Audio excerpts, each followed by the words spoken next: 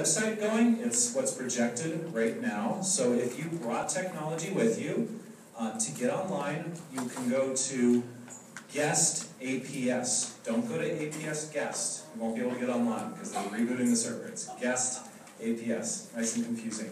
Um, and then right at the top, you can see www.padlet.com slash wall slash tab Colorado. And it's kind of like an interactive desktop where you can publish notes and links and photos and all these sort of things onto that page. So we encourage you guys to post things in there, post reflections or observations during the conference. There's also links to um, the things from the center, that's that green link.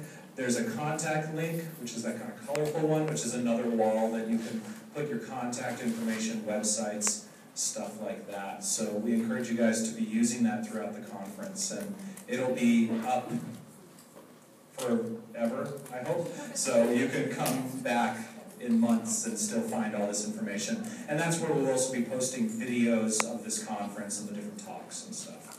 So, pretty cool thing. Okay, welcome. All right.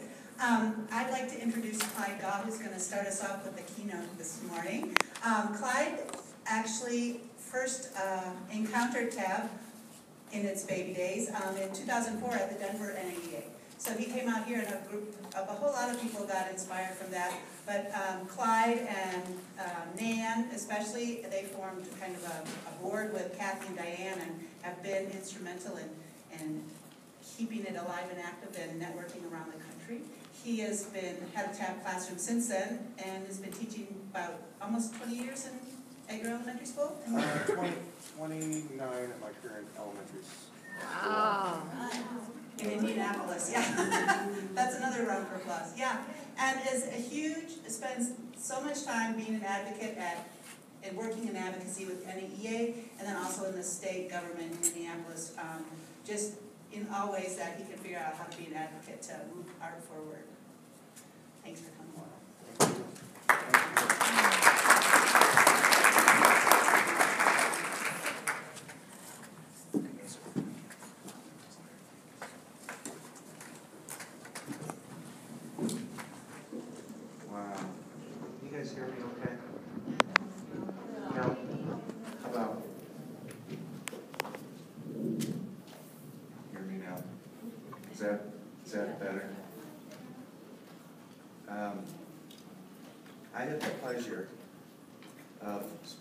the afternoon with Dale in her class yesterday. And um, as, as all the TAB teachers in here know, when the kids come into the art room, they're just so excited to be in a place where they can express their ideas and it's a natural kind of a event for them because they're biologically connected to art making in that way. It's they're just it's it's a matter of evolution is what I've come to realize. And so what I saw taking place in Dale's art room was I'm sure you've probably seen similar experiences. Um, it was the last class of the day. I, I, saw three classes, and it was the last class of the day. And um, uh, she started the class out with a five-minute gathering large group gatherings. Sometimes large group gatherings can take place anywhere, but she had she had a group in a gathering area, and I, I was uh, thrilled to sit in the back and just be the fly be the fly on the wall. And so there's three three sculpture artists, and Nan pulled them over to the front of the class, and so they had these beautiful little foam sculptures, and. Uh, the first little girl, she says, this is my Winter Park uh, sculpture. And uh, she proceeded to tell the entire class about her sculpture. And then at the end of her, her uh, story, and then she says, now, are there any questions? and so I just, I, I, was like, you know, this is, this is the kind of uh, learning opportunity that I don't think happens enough in schools. And uh, it, it, it, happens quite often in a tab room where children can express time-sensitive ideas. And, uh, so then the other, the other interesting thing that took place, well, there are a lot of interesting things taking place. First of all, the kids were just turned on, big time, uh, being in, in Dale's room. And, uh, at, at, uh, the end of the school day, there's a bell that goes off. And, and all, in unison, all of the, uh, the children go, no. Now, it's Friday afternoon, school's gonna be let out, and all the kids hear the bell that says school's, you know, over. And, uh, they all in unison are, are, you know, with a voice that could kind of rise from the depths of their insides, it's like, no, because they are so engaged in what they're doing. And, uh, it's, it's a natural thing when you give children choices and they become, um, personally involved in what they're doing, and they have a voice. So that was really exciting for me to be in Dale's room, and I got a thrill uh, being in there with all of our students. It's really, it was a real fun time. But I started teaching art in nineteen eighty-four, and uh, I was trained in, uh, to be a DBAE teacher at Indiana University. Some of my teachers were Enid Zimmerman, and Guy Hubbard, Bill Clark. Um, they're experts in DBAE. And uh, Enid, um, um, she's a big proponent of, proponent of creativity also. And, and uh, she wrote a, a, a nice piece, uh, I believe it was her Lowenfeld lecture about creativity. And I'm reading uh, her, what she's talking about in her uh, piece on creativity, I'm thinking, this is a tab classroom. This is what creativity is all about. And so, um, so after I got my education at IU, um, I started teaching in the, uh, uh, as a sub-teacher in Indianapolis Public Schools for about four months. Indianapolis Public Schools is the largest school district in the state of Indiana. And I was interested in working in the urban core. And so, uh, being a sub for Indianapolis Public Schools is a real education in and of itself. And, um, of course, I had the added advantage of being an art teacher, so I could mesmerize the children with my drawing ability, and, we, could, I could do, I was just a young teacher, I really was just learning on the fly. And, uh, think, oh, this is great, you know, I can draw, you know, we had a, some lesson on, uh, airplanes, uh, and it was a scripted lesson, and I, I drew airplanes for them on the blackboard, and they're like, wow. And, uh, and so the, the, you know, the visual, you, they see the visual, they see the sen, the, uh, the multi-sensory, uh, experience of seeing something that is an image, and it just was, you know, the children were very much, uh, engaged in that event, that little mini event. So they, I'm beginning to take things in and seeing what works with heterogeneous groups of kids. And heterogeneous is uh, a word I like to use a lot because it describes a classroom of kids. Every kid is different. Every kid has a unique structure of mind. Every kid, uh, because of their genetic, intrinsic genetic makeup and their neurology in their brain, has a direct effect on their personality and how they, how they are able to learn. Um, genetics affects a lot about the human mind, but we don't talk about that in education very much, at least not in, from the circles that are policymakers that I see Uh, uh, uh, who are meeting out education policy. They don't, they don't really care about that, but teachers who who are where the rubber hits the road, we see it all the time. And you really see it in a tab classroom where it's expressed. It's expressed right there before your very eyes when you let kids go off into a, you let a class go off into, in Dale's room, there was six centers open and, you know, they were, you know, boom, you could see uh, Howard Gardner's MI theory at work right there. Multiple intelligences, bingo, right there. And so uh, you see children uh, engaged in a variety of activities and interest, interests in a choice classroom.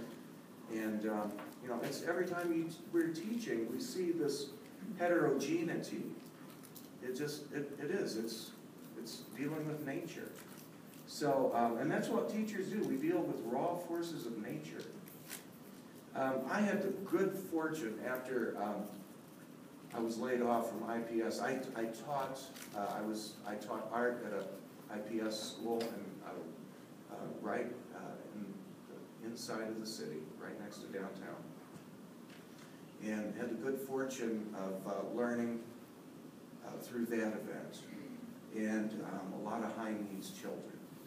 And, um, and then I got laid off, I got ripped, and I'm like, where am I gonna go? And so, I was lucky that there was an opening at a, uh, at a school uh, outside the city in a suburban area, uh, rural suburban, um, and it was called New Palestine, as the the community that hired me. So I've been fortunate to work at New Palestine Elementary for the past, going on twenty-nine years. And, um, and so my, my career's been primarily at New Palestine Elementary. And, uh, for the first twenty years of my career there, I was a DBAE teacher who was slowly sliding into choice, but didn't really know it. Um, I was, you know, after I do a DBA lesson, you know, kids are like, well, I'm finished, Mr. Goff, what, what do you want me to do now? Like, well, okay, you can do this, you can do this, or you can do this. And so I started doing choice after, you know, as a response, a pragmatic response.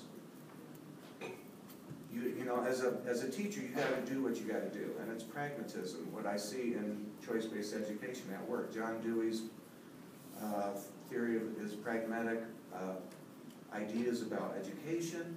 You do what you have to do to engage children, and if that means working through their interests to really engage them, then that's what you gotta do. So after twenty years, I start, I slowly started to slide into choice, but I really didn't know it, and I didn't know anything about choice-based art education. But I was uh, teaching a gifted class with a colleague of mine, a new uh, sharpshooter from Purdue University, his name is Clark Freilich. And uh, he was into technology, he's kind of like Adam, he's got a knack for technology.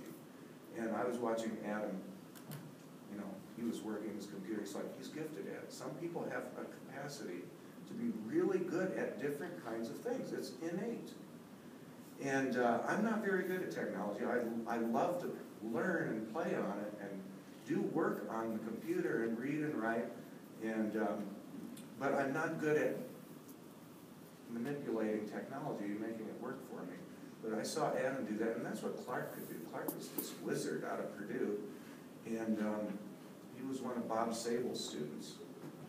And um, uh, so Clark, Clark and I taught a G&T class, and he one day he says to me, he says, "Hey, I'm uh, thinking, you know, you know how I, how much I like technology. I was thinking about doing this this uh, uh, this grant proposal through the state of Indiana. We would be uh, we would get involved in electronic portfolio development as an assessment tool."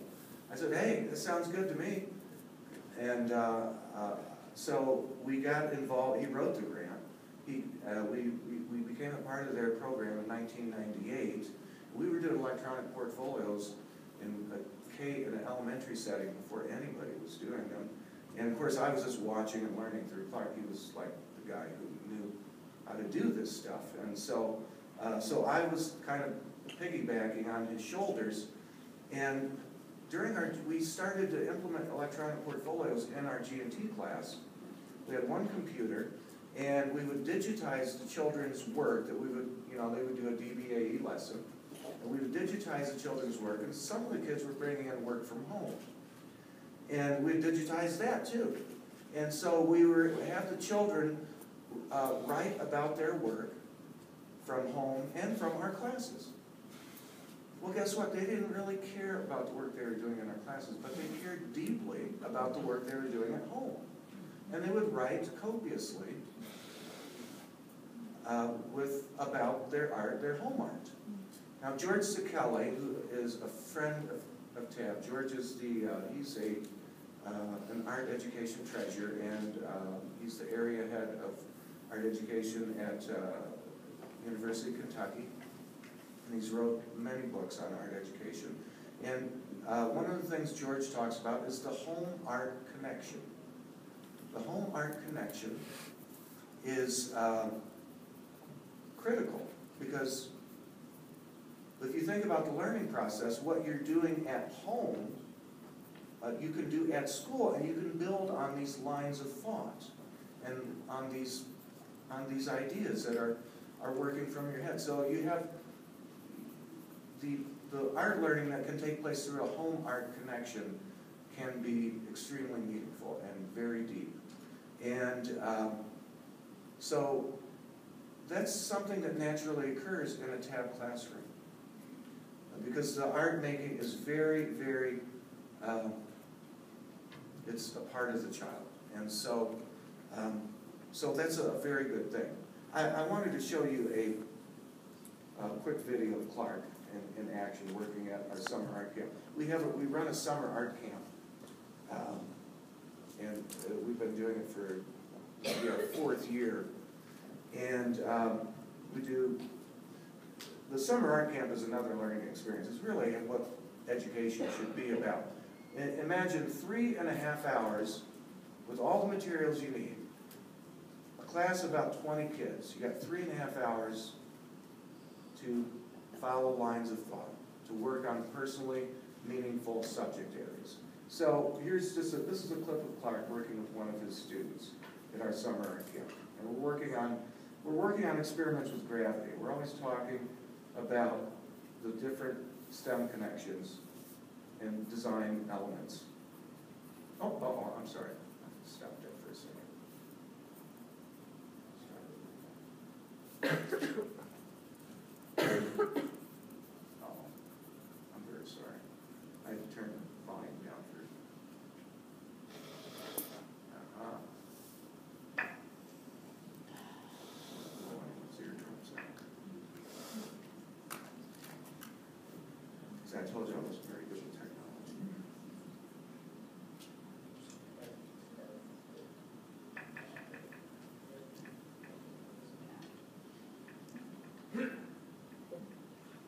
Uh-oh.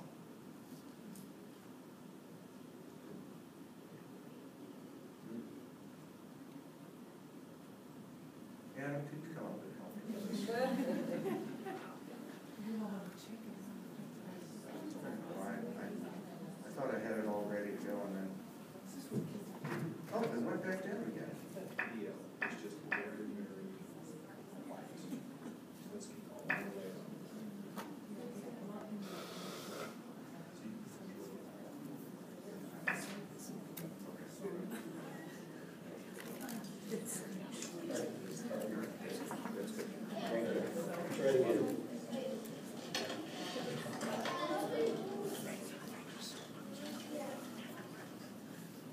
Well, we just needed to go to there. Oh, you have a spiral right over here. That is wicked.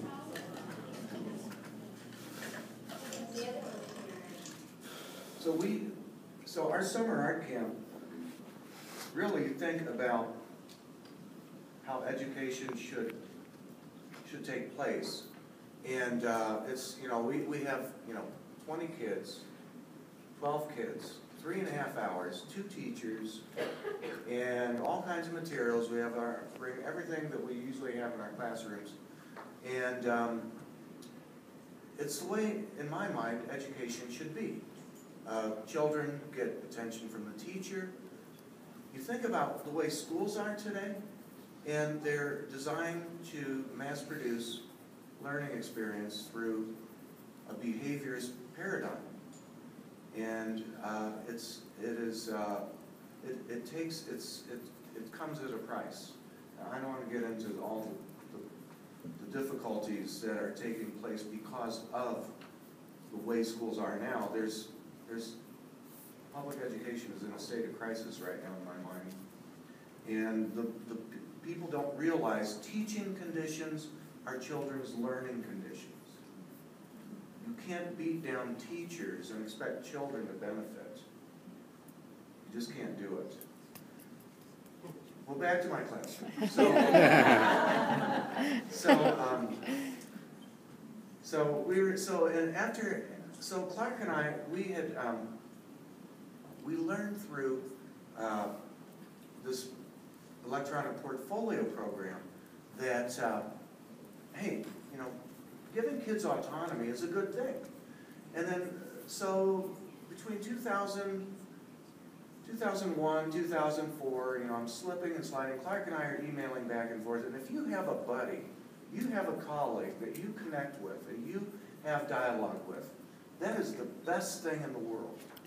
That is the best thing in the world, I think, for teachers to have co-collaborators and people to share feedback with and to, and to, to do action research in the classroom. I mean, that's what a tab classroom is. I mean, we're knowledge uh, constructors. We're creating knowledge in there. We're finding things out, discovering new things about ourselves, and, and creating new art forms. So, uh, so what Clark and I did, uh, we, we started to dialogue back and forth, and he said, hey, by the way, um, we're, you know, we're gonna present at, at Nationals in, uh, Denver in two thousand four on our electronic portfolio project. Uh, by the way, uh, there's these people, uh, they do this, uh, this form of art education called TAB. And anyway, Clark says, I've set up a lunch meeting with them, and we're gonna meet them over at Puck's for lunch. And, um, so I said, sounds good to me. Uh, as long as I can make to my brother, my brother and I have a golf match at, a- at, at, my brother lives in Denver. And I said, my brother and I have a, have a golf match, as long as I can make the meeting before the golf match, I'm good to go. So, so we went, we went to, uh, uh, visit with Diane. We went to visit with Kathy, we went to visit with John Crowe at Puck's. And, um, and so we started talking, and Diane and Kathy and John described TAB program to Clark and I, and we listened to it, you know, it sounded something, you know, it clicked to us. And so we said, you know what, when we get back, we're gonna start TAB in our classrooms. So the spring of two thousand four, we started, we both started doing TAB in our classrooms, and boom, it clicked. I mean, it was like blammo, uh, and so the, the next year, I refined my centers. I had like four or five centers. I had a drawing center, a painting center, a cardboard center, and a block, oh, and a computer center, and a block building center. And what I, what I saw happening was, you know, I explained to the boys and girls, guess what? Now we're working from your ideas. And so you're gonna, you- you're, you know, George Szekely says, artists are always planning. They're always thinking ahead. They're planning ahead. Boys and girls, guess what? It's on you now. You're gonna start planning. Now, I'm here to help you get your ideas off the ground, but now, you know, we're gonna see what you're, what you're all about.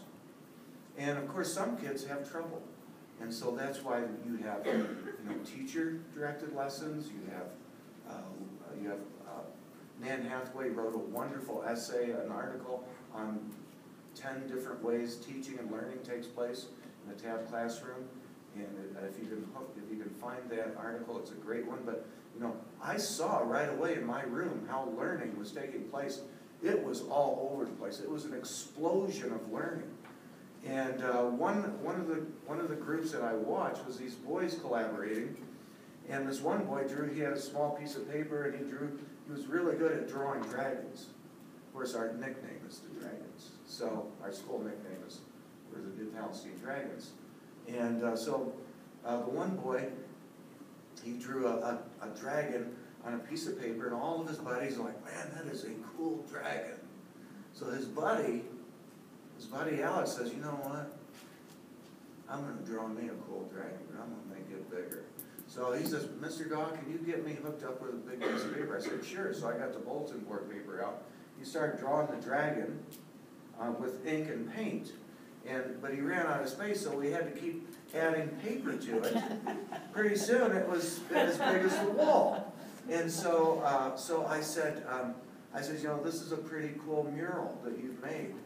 And, you know, this is, a this is what is possible in a TAB classroom, when you have child-driven, learner, learner-directed kinds of activities taking place.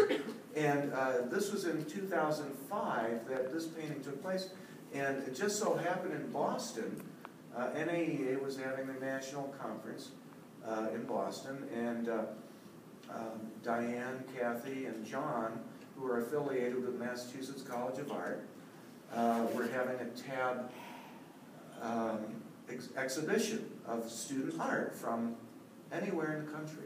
So they were getting shipments of children's work, and uh, so I sent I sent what I had over there, and um, uh, and it was later on when the when the the gallery uh, exhibit opened. You know, it was a tremendous exhibit, and uh, Kathy has it online I think somewhere. I, if you go to the Teaching for Artistic Behavior site, I think there's a link to it. But it was a knock'em sock'em, rock'em sock'em exhibition of children's art and um, uh, all kinds of interesting words uh, generated by little kids. And as you all know, you, I mean, we, we see it in our classrooms all the time. And so why does this happen? What is, what is the special event? What is the stuff, what is the special dynamic taking place in a tab classroom? And it has everything to do with Mother Nature. Because children are naturally endowed, they're natural learners, and you unleash the natural creativity that they are endowed with in a tab classroom. And it's, it's, it's goes back to this, this thing I was talking about, genetics, and we're evolutionarily, evolutionarily uh, hardwired, biologically driven to develop language in a natural form and to create in a natural form. And I'll talk a little bit more about that later. Uh, but we, but when you, you know, you give kids, you give them a little inspiration, you, you give them, a, point them in a direction, you know, boom, they will take off on a line of thinking. They are ready to go. And now, granted, some of them have been stultified. Some of them have issues with, gener- with generating an idea and expressing it in three or four, uh, two, three or four dimensions. Uh, is, it is an issue, and that's why TAB teachers have a, you know, we have multi, we have, have all kinds of ways that learning can be transmitted in a TAB classroom. Uh, there's also uh, letting kids incubate, letting them incubate, letting them find out what they're good at, letting them connect at a deep emotional level. You know, education today is primarily concerned with the affective. I'm sorry, not the, with the cognitive, and not the affective. They don't really think about the affective. Uh, with standardized learning experience, basically, primarily uh, driven, you know, towards cognitive information processing, and then uh, retrieved or uh, then assessed through data-driven learning, or data-driven assessments. And um, so the children get, uh, you know, but children are hardwired for emotional learning. They're hardwired for, to, uh, they're hardwired for multisensory learning. Eric Kandel won a Nobel Prize in the year 2000 for his research on learning. And what is learning? It's retrieval of memory. It's retrieval of memory is what learning is. And so, uh, so how do organisms learn best? Through multisensory learning. And what do we do in our schools today? Doesn't look too much like multisensory learning to me, very little. And that means hands-on learning, and, um, uh, and or, or vi- visual learning, or musical learning, uh, whole body learning. And so uh, you think about, and if I go off on a tangent, uh, please forgive me. But I want to say something about public education and private education.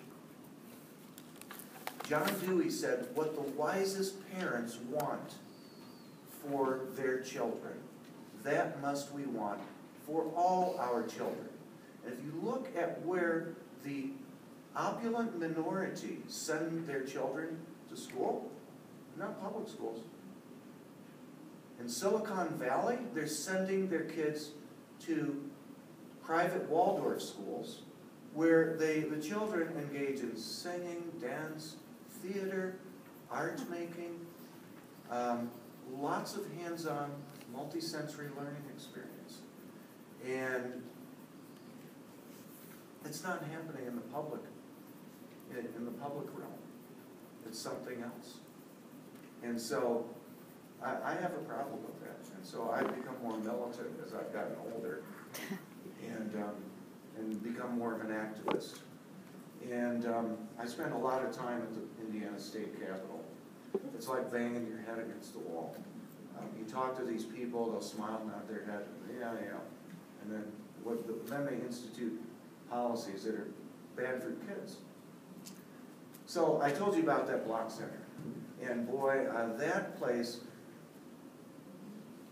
one of, one of the things Victor Lowenfeld discovered in his research was that you have two, before Howard Gardner was talking about multiple intelligences, Victor Lowenfeld said, hey, we have visual learners, we have haptic learners. Haptic learners, these are the hands-on guys, they're the hands-on kids, they're really into all this. And I think my block center is a, it's a, uh, it's a little, uh, place for all of our haptic learners to go. They're really into building, and they can really express themselves really well at the block center. So here's like, some of the sculptures over there get super huge. Over here is the best view of the city.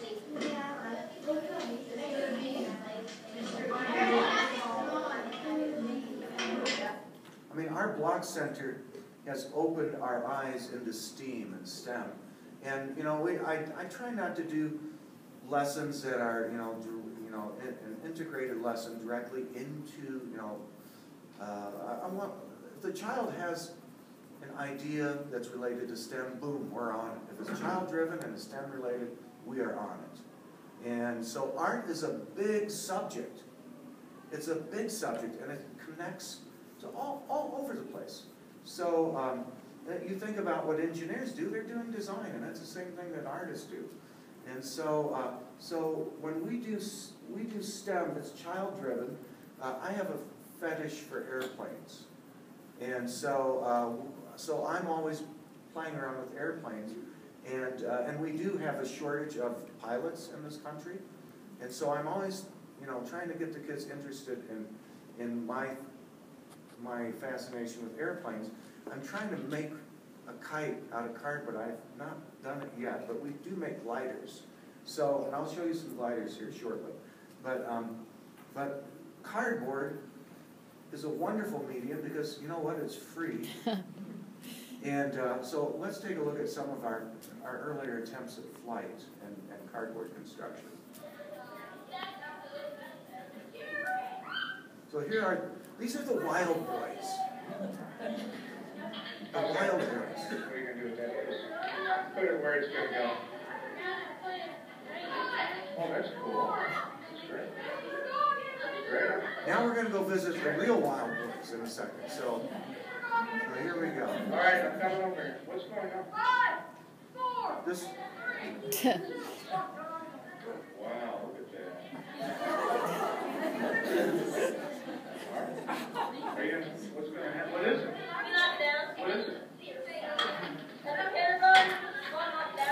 If you construct something, then you gotta deconstruct it. So, we built the airplane that you saw in the first part. So now it's time to test the airplane and see if it'll, it'll fly. Introducing Shane and Austin and Nick.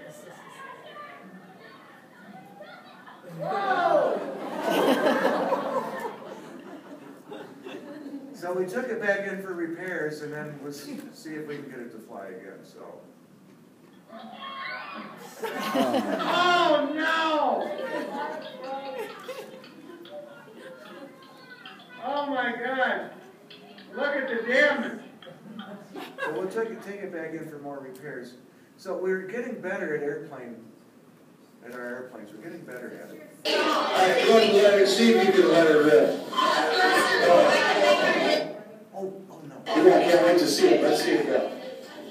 Let's see it go. Whoa! this is a, one of our smaller airplanes.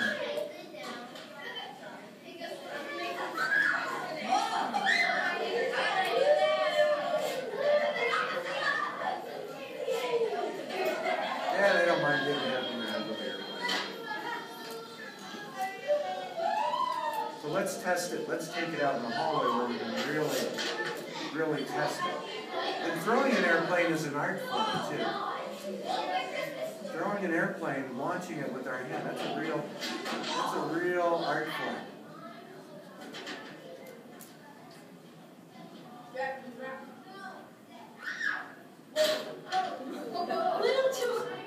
So we have some really big ones. I wasn't able to, I wasn't able to hook up the video to that. I'm so, I'm so sorry. And we've got some that are like four feet long that really do fly. And, and they're just, the- you know, they're just thrilled to death to be able to build these things. And gosh, we didn't know we could make these things in here, Mr. Gaw. But, uh, so then we, so then back to the Wild Boys and the, uh, and the, the, the block building. So, so we started experimenting with chain reactions now.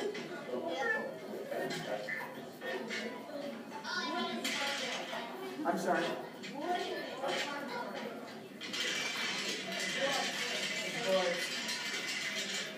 Oh, what are the, what are they, those are wood planks that were, that were saved from a cabinet factory that were gonna get thrown out. And they were wood planks, so we just scavenge blocks wherever, now we've got like three thousand blocks. We just scavenge blocks wherever we can get.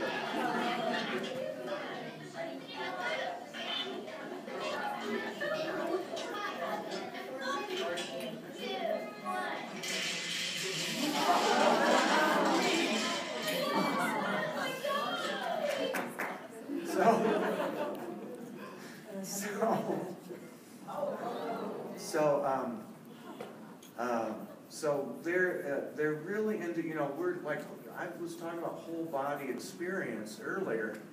And, you know, some of these construction pieces are big and they work in teams and they, and you think about play. I want to talk about play. Children are hardwired to play. And what we do in schools is criminal. We take away their play, but you know what? They learn best through play. They learn best through play, and in a tab classroom, they can play. And, uh, and, and guess what? Uh, they can self-regulate. They can form, uh, they could, they could form groups, and they can negotiate how they're going to operate within the group. Because you know- you know what? If I don't like you, or I don't like your game, I don't have to play. I can quit the game. And so, uh, so there's, they're in the self-regulation through play. And when they build these pieces, you know, they're, they're negotiating. And they are, a lot of the boys are, are, they're really, you know, I was in Dale's room yesterday, and, you know, the boys who want to do block building, they're, I mean, I saw that, They- it's universal. They're forming groups, they're negotiating, and the girls do it too, not just a boy. The girls, the girls get in there, and, uh, and they'll rough and tumble with the boys, and, uh, and they'll, they'll, they'll negotiate and communicate, and there's, uh, something at stake here. You know, we gotta, we, this is, we're, this is high stakes, this is really high stakes, because we're working with balance, and if somebody isn't careful, it could knock over, knock our structure over. And so, um, so we're, and then they'll always leave the next class a, a letter. Please, don't knock over our block city. You know, we see those letters all the time. Please, this is, this is our, this is our, our building of Lucas Oil Stadium. Uh, don't knock it over, You- and, and, or stay out. And then, uh, but, uh, you know, it's, so blocks are really, uh, it's a big deal. And then, so what we can do with that block event, and of course, it's, it's a, uh, it's a, it's a, it's, it's an event that is, uh, it, it's, it's, it's momentary. It's here for, you know, so what do we do? We try to di- digitize with, as, with our cameras, and I just use my little camera. I've had all kind of cameras throughout my career, but that one right there is, works really good, it's a phone camera. I just take shots of, you know, the artwork or a hand, or ahead, you know, with holding the art. You gotta, uh, you know, you can identify the child and you can create an assessment tool, electronic portfolio.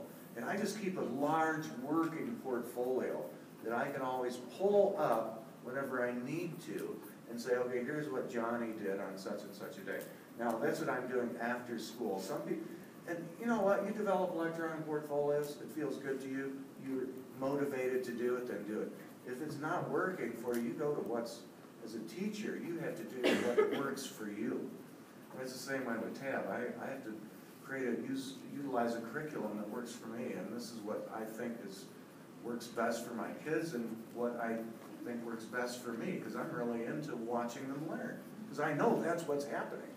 You see it really happening, and it's evident in their writing. So writing is a big part of what we do. We write about our experience. And, uh, and so the, so the kids are like, you know, I'm a, uh, the boy writes, Mr. Gaw, I have been drawing in art class. Oh wait, I have been drawing in art class ever since Mr. Gaw took the blocks away. but I still think drawing is fun. And here's a stick figure. No more blocks. but then he goes on to describe a structure. He says, I love art class. One day, Lincoln and Adam and Kent and I built a big tower out of blocks. It was so cool, uh, but one day uh, we came to art to see it, and it was still there, except the first graders made it into uh, a marble run. Okay, a marble run. and so, so that you know, it's you never know what's going to happen. There, there's always something new happening in there. It's always changing. So, um, so the block artists. Here's my tribute to the block artists. And um, oh, and, and electronic portfolio. So here's the oh, here's the gal. She's uh, she's like that gal in uh, uh, in Dale's room. You know, she's the girl with the moxie, and she we gave them cameras one time, and so uh, she got a chance to get her own film crew together, and so she was going to do an, an interview of the block builders. So here she is. Styles in block building, and we're here to ask them some questions, and we're here to ask some young gentlemen some questions about their work and what their future beholds. So just kick back and relax and see what their future brings to them. Okay.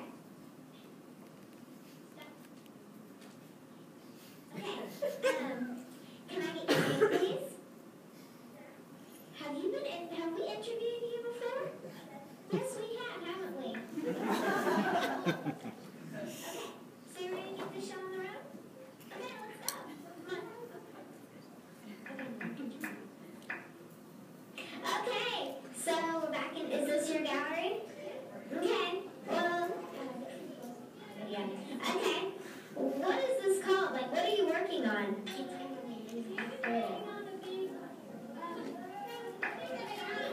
Yeah, and I'm working on like a house of maze, you know, House of Can you give it uh, some sort of a name? like a maze house. It might be some sort of, um, looks maybe like a Halloween house or maybe a haunted house. Um, where did you get the idea of building it? That's from my brain or ideas. Hmm, looks good. Um, can you tell us who this is?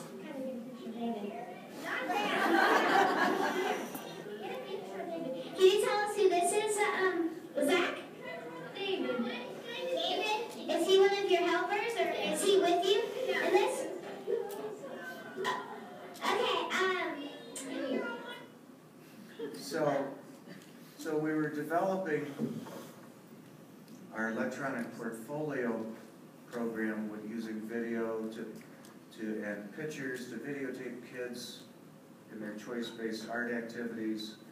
And, uh, but we had to have a computer lab to, to do the, uh, uh, to do the, to have kids do more writing on it. Well, the labs then primarily were used by the, they were taken away from the art class, so we, so we just do them now. If we do, uh, writing on the computer, it's, we do artist statements, and we will do, um, um, we'll do some portfolio development on the little, we have four little computers in our art room, but primarily, I just keep a massive computer, uh, file system in my own, in, at my own workstation, and I just keep it there and go through and see what everyone's been doing. But, uh, you know, this feeling of building in three dimensions, you know, this, you know, uh, the feeling of soaring and uh, working with balance and design, and uh, in three, in three dimensions in real time, very appealing to children.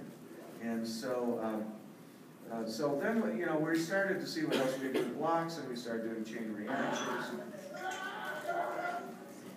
Sean, what did, uh, who worked on this project with you? All right, you let me know when you're ready.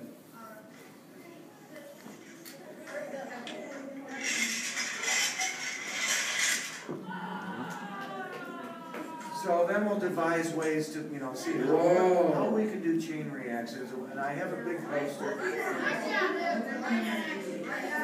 I have a big poster, it talks about gravity and, and chain reactions and, and, uh, Sir Isaac Newton, and, you know, we, so we have a, our block center has information on it, uh, about, um, about gravity and that, uh, your, uh, physics, a little bit of physics. Uh, force equals MC, what is that?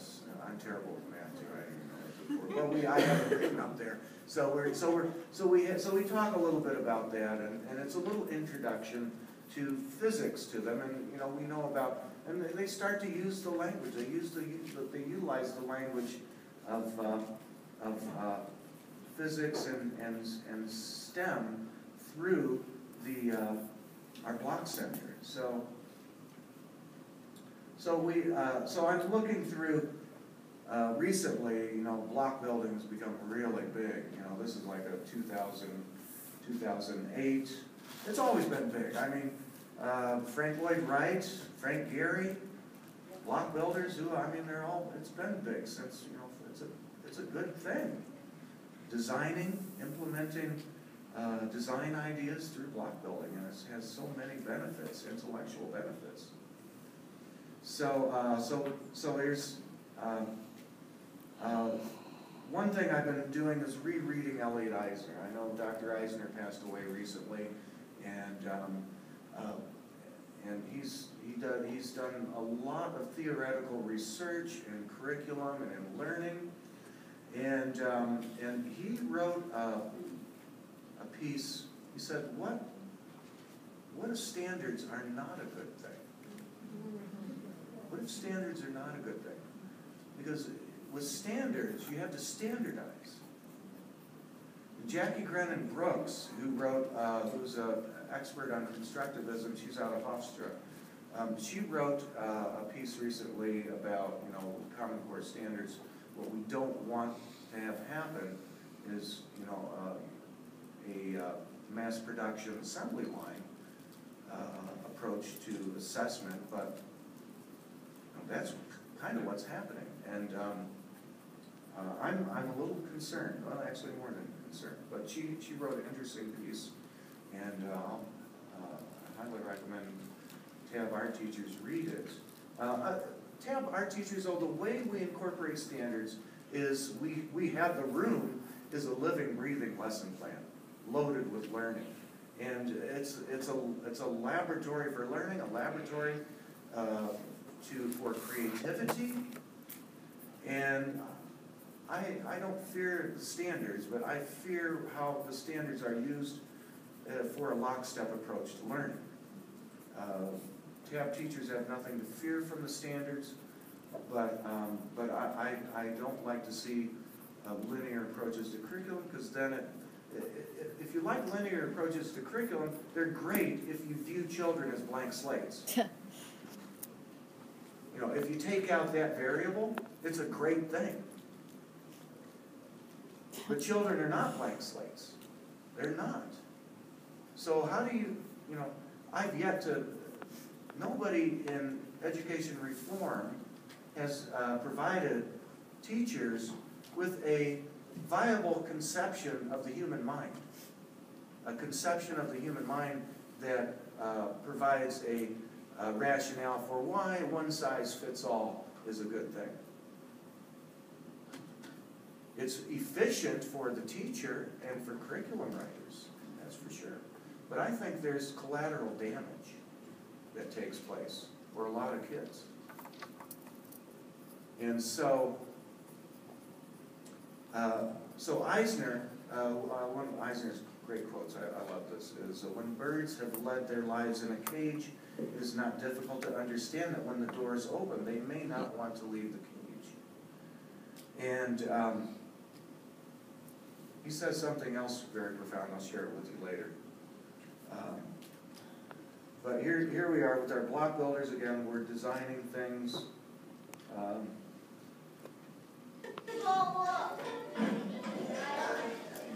What's it gonna do? Show me what it It's is. gonna work. It's gonna work. That's what These forces of nature are children. For, the children are forces of nature, they are beings in and of themselves. They're not beings in becoming. You know, they're not becoming adults. They are beings. They are what they are. They are nature unleashed. Those of you who are elementary teachers, uh, my heart goes out to you. I'm one too. Because their minds, you know, Eisner says, you know, we're all born with brains, but the mind is cult- developed through culture. You know, it's, it's a, it's a, it's a, the, the mind is, uh, it's, it's a, uh, the mind is an inconceivable globality.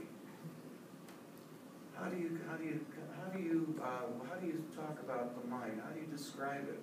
We all have one, but I mean, it's like this container of memories, and then I have executive functions of, um, everyone's different, and, and, the- and so, uh, Deleuze and Guattari are these French guys, and they're philosophers and educators, and they wrote uh, a piece about rhizomatic thinking.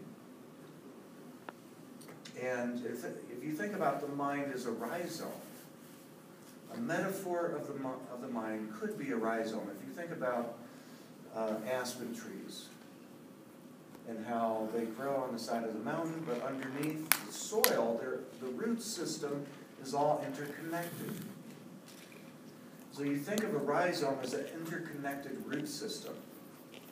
Well, a, a, a rhizome metaphor for the human mind that could apply to that, and it could also apply to a, uh, a, a learning experience, a curriculum experience in a choice-based art room.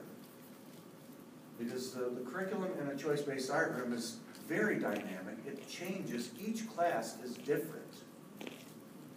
In a linear curriculum structure, the, the classroom dynamic, it's not, you know, it's, uh, the curriculum is static. We know what the final outcomes are gonna be. In a choice-based art room, we don't know what the final outcomes will be. You might get a eight-foot-tall dra- red dragon. Uh, or you might get a chain reaction with, uh, uh, you know, that's, we just don't know. Because the children become the experimenters, the doers, now they have a voice in the curriculum. They have a say in the curriculum. So, it's a wonderful concept, but it's hard to do. It's hard to do, it's physically taxing. It's physically taxing. I've never been in the best shape of my life since I became a tab, tab art teacher. You know, you're constantly on the go. You're, you know, it's low level, you're constantly moving, you're working, and it's, and you're teaching, teaching so much. In small groups, in individual, in large groups. It's const, you're constantly teaching and facilitating. And so, um, back to the block guys. So, so one day I, I had this idea, well, we'll bring some marbles and we'll see, we'll see what happens. And teachers can be the, you know, we are the, the people who can change the setup, we can change things around. And, and activate change, and we'll, and, and we'll see what happens. So I brought the marbles in.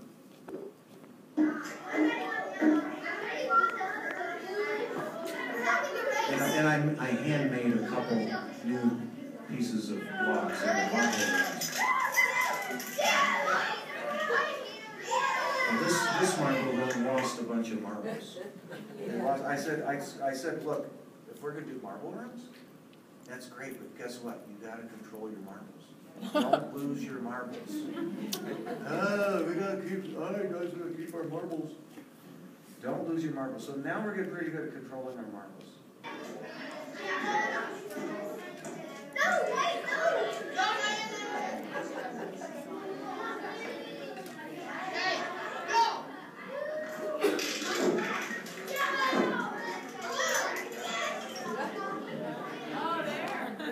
So now we're getting really good at building gravity machines. We're building machines powered through gravity. I, I don't know what this movie is. This is a test.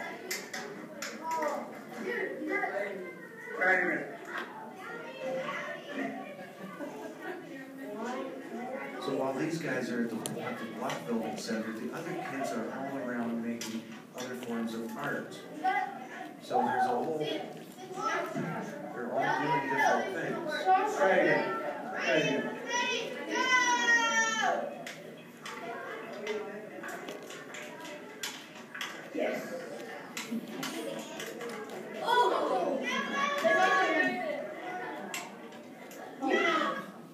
Yeah, oh, our room's a little noisy. Um, But, um, you know, the, the children are, are forces of nature. They are, um, energy. They are balls of energy. And, and, you know, you think about what happens to them in the regular school day. They're constricted. They are suppressed. And, uh, they are, you know, sitting in a chair.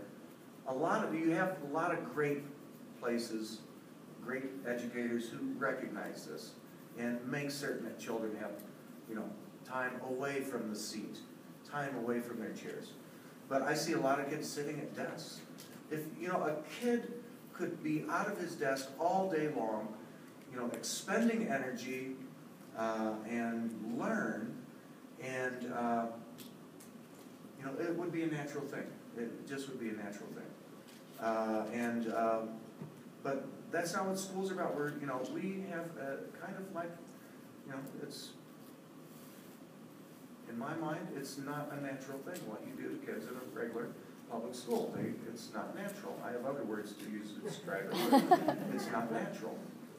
But, um, so getting back to boys and their, and, and girls, you know, they all have They are balls of energy. They have minds that, oh, and I'm sorry, this is, this is all devoted to block building. So here we have all these different kinds of construction pieces with blocks. And, um, and discovery learning just taking place all over the place. And using our own mind to set up an experiment with blocks, or set up a design concept. Oops.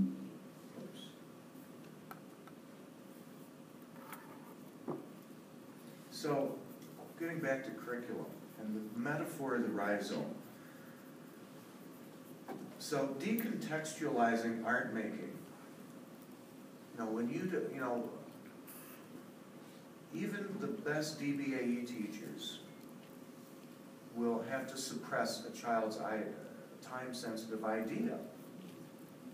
You know, a child says, comes into your classroom and says, uh, Mr. Wag, that's Gostel then, uh, Mr. Wag, I've got a idea uh, that I want to do today.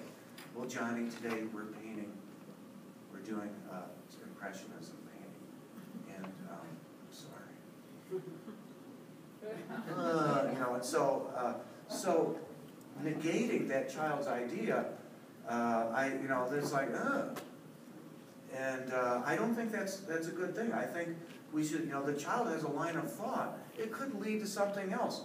Uh, sure, I could, you know, and Nan Hathaway wrote a brilliant piece on smoke and mirrors. On smoke and mirrors.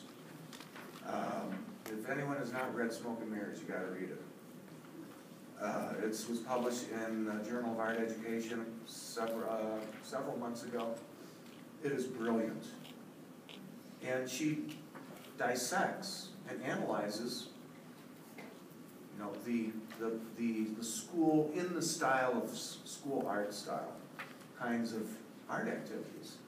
And, uh, she breaks it down, deconstructs it. And, you know, that's a, you think about the, uh, the artist from ancient times, they didn't have a person, you know, providing them with sequences and, and step-by-step instruction. They put it together on their own. They figured it out on their own. Like the, the first, uh, like uh, Buckminster Fuller says, we, you know, trial and error and discovery learning.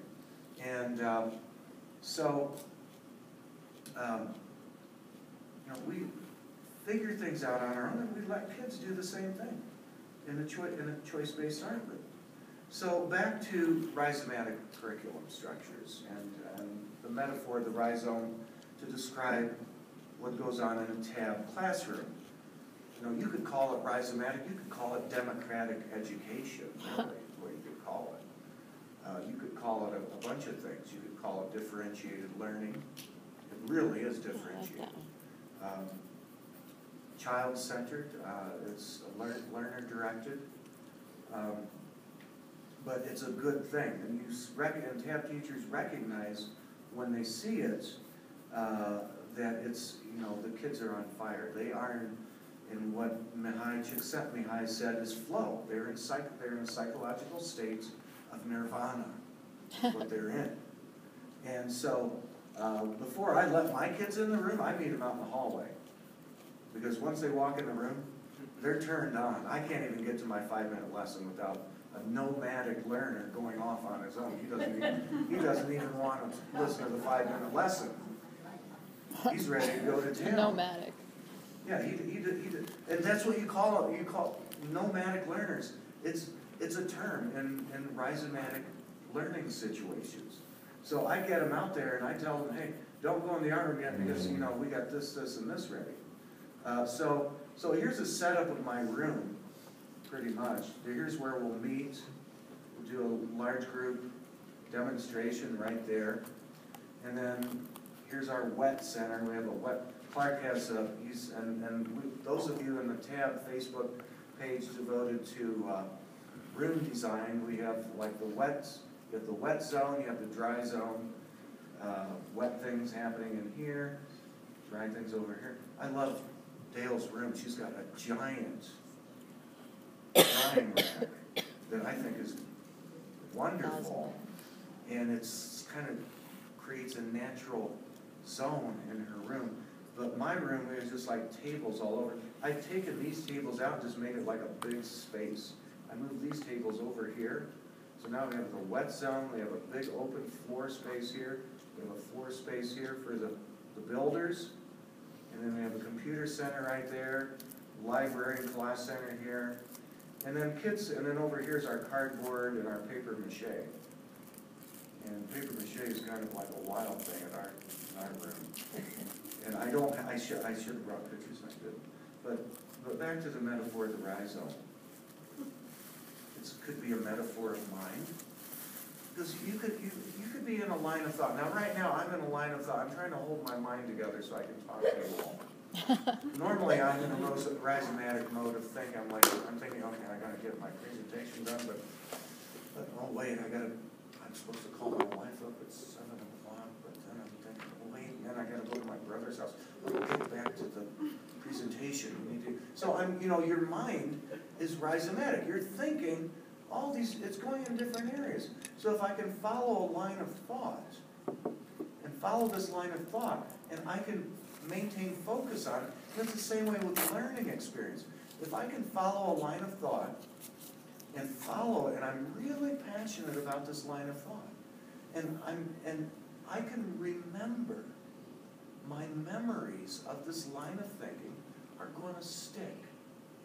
And Eric Kandel, back to Kandel's research, you know, multisensory, emotional connection. You know, when you have the neurotransmitters, uh, serotonin, uh, dopamine, which is a pleasure neurotransmitter, and, um, gosh, I forgot the third one. Um, Now my mind went blank, rhizomatic. Uh, uh, There, uh, the, the, uh, you, you have, um, it'll come back to me, I'll come back to that later. But you have those neurotransmitters, that serotonin, the big one, related to multisensory learning. And when they are, uh, when the mind, when the brain is engaged in those kinds of learning activities, serotonin is, it kicks in and it's produce, it's more, oh, adrenaline was the other neurotransmitter, adrenaline. Did you, did you say adrenaline? I thrive on Yeah, adrenaline was the other one. Adrenaline. Adrenaline. Um, do you remember those things? You remember, you remember when adrenaline kicks in? You have those three things working with you. You, you create memories that last for a long time. That's the problem with data-driven education. Uh, you know, you have a selected response worksheet, you fill it out, like, okay, I filled it out.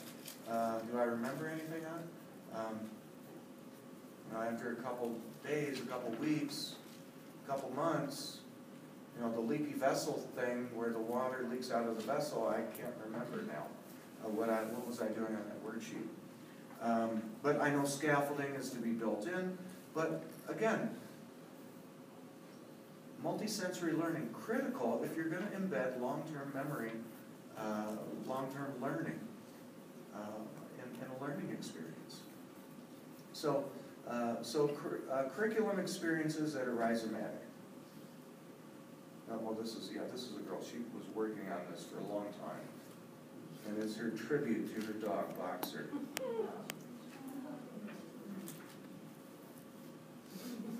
So here we start. We'll start at, here with our large group instruction, our five-minute instructional time, after we've had our hallway instruction. Um, And uh, we'll begin the class right here.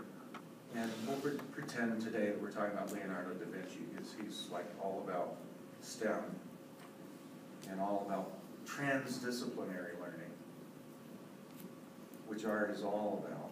So then I'll say, okay, the, you know, here's your information, boys and girls. Uh, now you can go off and work at a center. And boom, we're off and running. I mean, this was, this was like a Dale's room yesterday. You know, we were, you know, after the girl said, are there any questions? And Dale said, okay, you guys can go, go to a center, and boom, they were out, they were, they were at it. They were going to town. And uh, so then, then it's interesting to see what happens. Things begin to shift. Then the rhizome begins to change. And I, in 2006, I wrote about rhizomatic curriculum without really knowing what I was writing about. And I was describing, we were having a conversation with uh, the uh, editor of the, uh, the webmaster of the Incredible Art Department. And, uh, and so I was, we were, because TAB was relatively new and, and uh, still relatively, relatively new. And I was describing to her what my classroom was about and telling her that, um, uh, that, you know, we can, you know, once kids move to a center, then they can shift.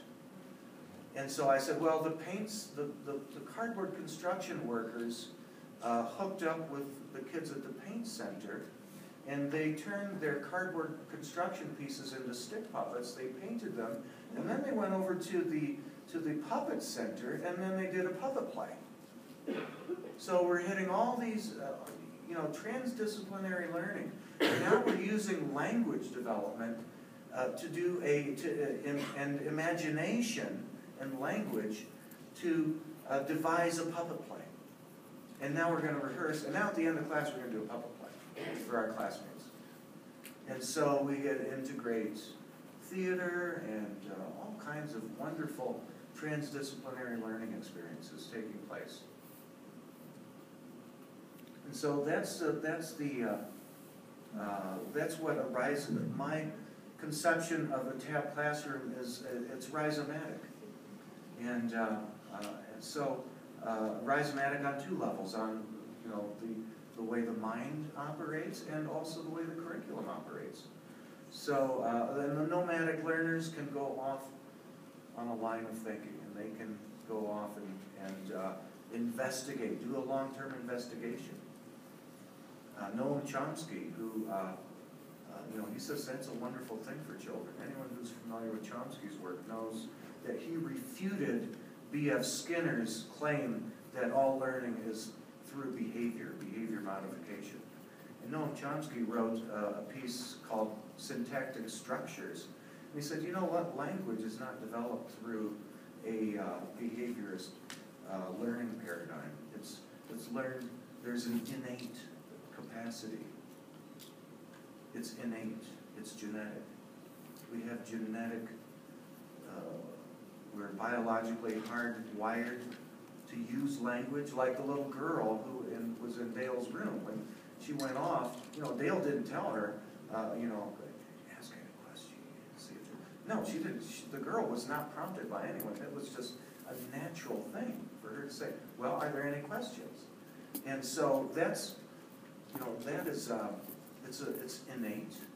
And so we should be uh, looking to connect learning through children's interests, through their innate capacities, because you're gonna get a bigger bang for your efforts. You're gonna get a bigger bang out of the learning experience when you do that. You, the children will remember it and they feed on it. And it's an emotion, uh, emotional, uh, emotional and, uh, emotional forms of learning, that, that's it. TAB is like the, it's, that's the big enchilada in school right now. And Kirsten Ho Chan, I've, I found an article by Kirsten Ho Chan, and she writes about rhizomatic curriculum in preschool and how it's, it's a, a natural kind of way for children to learn uh, uh, in preschool settings. But I'm like, well, you know what? It's good for us too, for elementary. And it's good, I've seen it operate in, uh, in other settings. And I know there's high school people doing TAB. And, uh, and I have a colleague, uh, uh, several colleagues in high school who are doing TAB. Uh, Jeff Creedy is, is doing TAB uh, in Minnesota, and uh, he's uh, was the former head of Minnesota Art Education uh, Association, and uh, he, he's a he's a, a big time TAB proponent at the high school level. I have a colleague, uh, Barbara Andrews, and she doesn't do tabs. She does learner directed learning, and she uses uh, her her own way to uh, propel learner directed experience, and it's with contracts. And I've seen she's shown me how she does contracts. And so it's possible, it's possible, know, I was doing it in college, you could do it at any grade level, you could do it at any stage in, in learning with any kind of heterogeneous group. And, uh, well, back to, back to, uh, I'm gonna go back here for a second and read what Kirsten Ho Chan has to say about involving young children in decisions regarding curriculum development is underpinned by the United Nations Conventions on the Rights of the, Chil- of the Child and is gaining support around the world. Canada, the province of British Columbia, she's from British Columbia. Uh, in uh, Canada and the province of British Columbia, for example, has embedded children's right to participate in early learning framework, in, in, in its early learning framework. However, as outlined above, child's, child, child participation in curriculum making is complex and it requires both a clear commitment and ongoing effective actions to make it a living reality. How do you spell her last name? Uh, Ho Chan, H O C A, uh, yeah, H O, and then separate C H A N. It's close.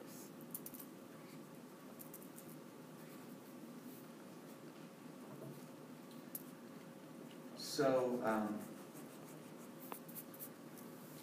with, with children, we have heterogeneous groups, how do, how do, how do people who are vested in one-size-fits-all standardized curriculum account for heterogeneous groups of learners? They, they don't, they don't. But tab art teachers can, or choice-based art, art teachers could. And so, so we are all about turning kids on to self-directed learning. And I'm gonna go, I'm gonna come back now to what Elliot Eisner said uh, in his uh,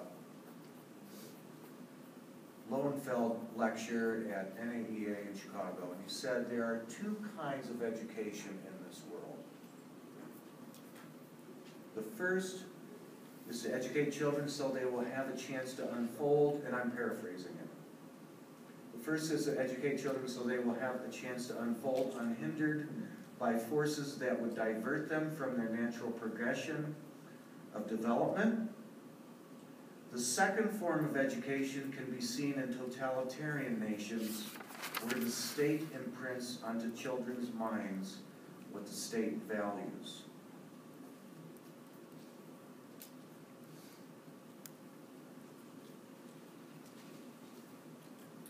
And I'm gonna end, you know, I did not talk about the secret art of boys today.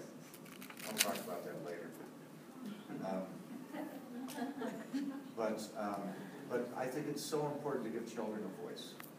And here I want to, I want to read to you what um, Mike said. He said, when I was at my other school, being creative was especially frowned upon. I made an alien clown and I got a D. One time we were making self-portraits and the teacher said, if you don't do it right, you'll have to do another one. I used red and she said, don't use red. You did it a wrong way. Uh, it just makes me feel mad. My art wasn't appreciated there. So, I will talk about the secret art of boys later on. And uh, that's a whole nother, that's a whole nother chapter in this story. And uh, Adam and all of the Colorado Tab art education participants, thank you so much for letting me speak to you. Thank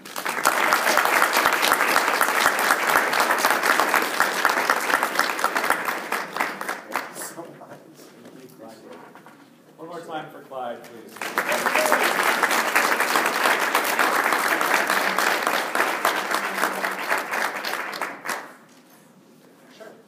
We're very lucky Clyde will be with us so we can nitpick his brain and try to figure out better that ribosomic thing that I'm still trying to understand as well.